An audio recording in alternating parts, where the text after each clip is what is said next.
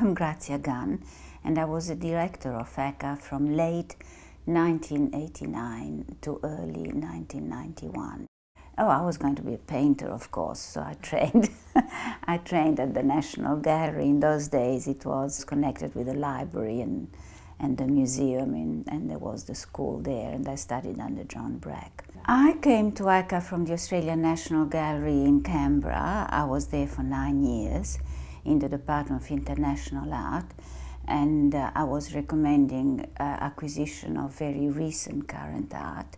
My idea of ACCA was to really focus on uh, emerging artists and also I saw ACCA as a laboratory of ideas and, and art, a place where, a forum where we could discuss ideas and actually create art on the premises and actually to cover everything, you know, from film to literature, to have forums on that. I really did believe that there should be an interaction between all of those things. I decided to have three kinds of exhibition. One was called wallpapers, and artists would be invited to come and actually work directly on the walls. Then there were experiments, and they could do anything they wanted. And then rooms, which in that case, sometimes it did mean that we brought some pictures in from outside. We also had lots of seminars and, and lots of evening activities.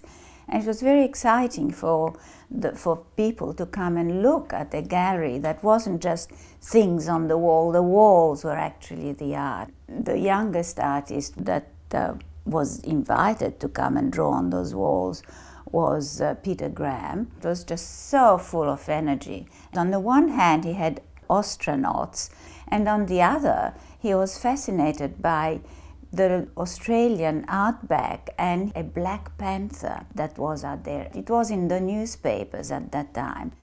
Narrative drawings on the wall, and there were also sculptures of astronauts, and, and it was the most wonderful, wonderful exhibition. Oh, we, we just had lots of things happening all the time. It was really very, very exciting.